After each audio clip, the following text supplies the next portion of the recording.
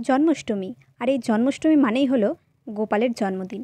আর এই গোপালের জন্মদিনে কিছু স্পেশাল না করলে হয়?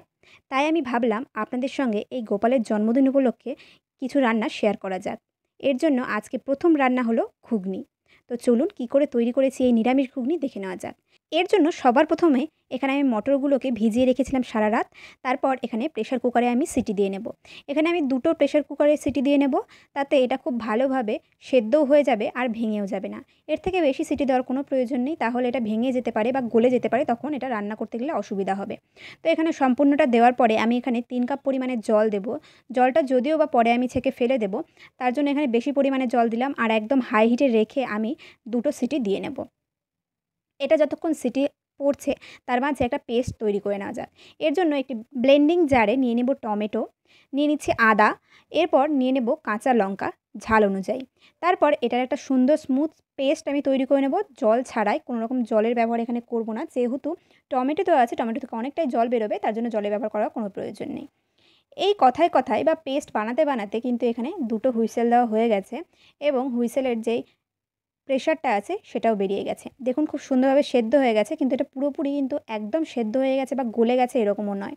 তো এটা সেদ্ধ হয়ে গেছে, এটাকে এক সাইডে রেখে দেবো এবং একটি কড়াই দিয়েছি সাদা তেল। আমি এখানে তেল দিয়ে, তেলটা খুব ভালোভাবে গরম হয়ে গেলে দিয়ে দিচ্ছি দারচিনি, দিয়ে দিচ্ছি এলাচ আর শুকনো লঙ্কা। এই তিনটেকে কিছুক্ষণ আমি নেড়েচেড়ে ভেজে নেওয়ার পরে এখানে দিয়েছি গোটা জিরে এবং খুব ভালোভাবে এটাকেও ভেজে নেব। এটাকে ভাজতে খুব বেশি সময় লাগবে না, একদম মিডিয়াম টু লো আঁচে রেখেই রান্নাটা করব প্রথমে। তারপর এখানে দিয়ে দিচ্ছি আমি নারকেল, নারকেলগুলোকে লম্বা লম্বা স্লাইস করে আমি কেটে নিয়েছি, তারপর এগুলোকে কিছুক্ষণ ভেজে নেব। যতক্ষণ না এটার কালার চেঞ্জ হয়ে আসছে। যখন এরকম সুন্দর গোল্ডেন একটা কালার আসবে, তখন এর মধ্যে আগে থেকে করে রাখা পেস্টটা অ্যাড করে দেবো। এই সময় কিন্তু গ্যাসের আঁচটাকে মিডিয়ামে রাখবেন, খুব বেশি হাই রাখার কোনো প্রয়োজন নেই। টমেটোর পেস্ট দেওয়ার পরেই আমি এখানে দিয়েছি লবণ। লবণটা কিন্তু আমরা যখন মটর সেদ্ধ করেছি তখন কিছুই ব্যবহার করিনি। তো লবণটা একটু খেয়াল করে ব্যবহার করতে হবে। আমি এখানে মশলার জন্য লবণ দিয়ে খুব ভালোভাবে কষিয়ে নিলাম। তারপর এখানে দিয়েছি হলুদ গুঁড়ো, দিয়েছি লঙ্কা গুঁড়ো পরিমাণ মতন। তারপর এটাকে খুব ভালোভাবে আরও একবার কষিয়ে নেব। কিছুক্ষণ কষানোর পর এইরকম যখন তেল ছেড়ে আসবে মশলা থেকে তখন আমি এখানে অ্যাড করব আলু। আলুগুলোকে ছোট ছোট টুকরো করে আমি কেটে নিয়েছি। তারপর এখানে অ্যাড করব এবং খুব ভালোভাবে মশলার সঙ্গে ভেজে নেব। মশলার সঙ্গে ভেজে আমি এখানে ঢাকা দিয়ে দেবো যাতে আলুটা কিছুক্ষণ সেদ্ধ হয়ে যায়। তার আগে আমি এখানে একটু জল ব্যবহার করছি।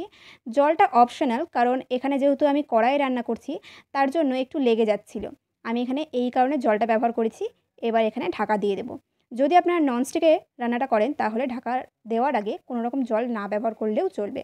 তো এখানে প্রায় তিন থেকে চার মিনিট রাখার পরে আলুটা কিছুটা সেদ্ধ হয়েছে, এই পর্যায়ে আমি এটাকে ঢাকা খুলে আরও একবার নেড়ে চেড়ে নেব। আলুটা কিছুটা সেদ্ধ হয়ে গেছে, এই পর্যায়ে পর্যন্ত এটাকে নেড়ে চেড়ে কষিয়ে নেওয়া হয়ে গেলে এখানে আমি আগে থেকে সেদ্ধ করে রাখা মটরটা অ্যাড করে দেব। মটরের যে এক্সট্রা জল ছিল সেটাকে আমি ঝরিয়ে নিয়েছি, তাতে এখানে কোনো এক্সট্রা জল কিন্তু পড়েনি সেই দিকেও খেয়াল রাখতে হবে। জলটা পরে আমরা অ্যাড করব। এবার এখানটায় খুব ভালোভাবে নেড়ে চেড়ে নেব বা কষিয়ে নেব।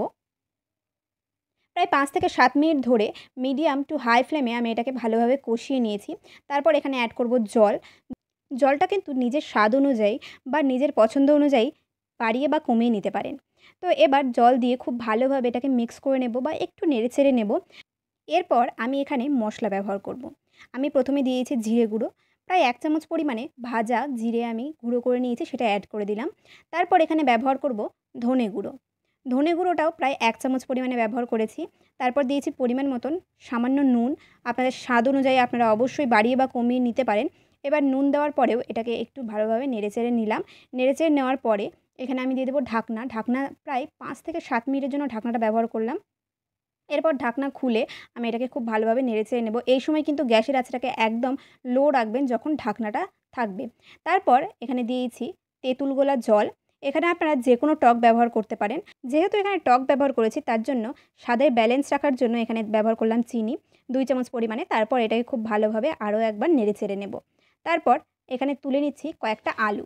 আলুগুলো প্রায় সেদ্ধ হয়ে এসেছে। এই মুহূর্তে আলুগুলো তুলে একটু স্ম্যাশ করে নেব। আলুগুলো তোলা হয়ে গেছে।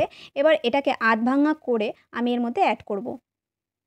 আধ ভাঙা করে নেওয়া হয়ে গেছে। এবার অ্যাড করে দিচ্ছি আলুগুলো। এর ফলে কি হবে? এই যে গ্রেভিটা আছে, সেটা কিছুটা থকথকে হয়ে যাবে। এটাতে খেতে ভালো লাগবে। লুচির সঙ্গে যখন বাড়ির গোপালকে এটা পরিবেশন করবেন, নিজের সঙ্গে সঙ্গে গোপালেরও মন ভীষণ ভালো হয়ে যাবে। তো এই কথায় কথায় কিন্তু এটা অনেকটাই রেডি হয়ে এসেছে। বেশিক্ষণ আর ফোটানো যাবে না। এই পর্যায়ে আমি দিয়েছি গরম মশলা। তারপর এটাকে খুব ভালোভাবে নেড়ে চেড়ে নিচ্ছি। সবার জন্মদিনে আমরা যখন একটু লুচি, ঘুগনি, পায়েস করি, তখন গোপাল কেন বাদ যায়? তাই গোপালের জন্মদিনেও কিন্তু এই ঘুগনিটাই বানিয়ে নিন। তাহলে গোপালের সঙ্গে সঙ্গে আপনারও মন ভীষণ ভালো হয়ে যাবে। তো কথায় কথায় ঘুগনিটা একদম রেডি হয়ে গেছে, পরিবেশন করা কমপ্লিট আপনারা শুধু এটাকে জন্মাষ্টমীর দিন গোপালের সামনে পরিবেশন করুন। আজকে এই পর্যন্ত দেখা হবে আবার নেক্সট দিন নতুন কোনো ভিডিও নিয়ে। তার আগে যারা এখনও আমার চ্যানেলটি সাবস্ক্রাইব করেনি, তারা কিন্তু অবশ্যই চ্যানেলটিকে সাবস্ক্রাইব করে পাশে থেকে বেলাইকনটি দাবিয়ে দেবে। যাতে আমার চ্যানেলে আসা নতুন ভিডিওর আপডেটগুলো সবার প্রথমে তোমাদের বা আপনাদের কাছে পৌঁছায়। আর এই এপিসোডগুলো কিন্তু একদম মিস করবেন না। এখানে অনেক কিছু আমি শেয়ার করব। প্লিজ সাথে থাকবেন।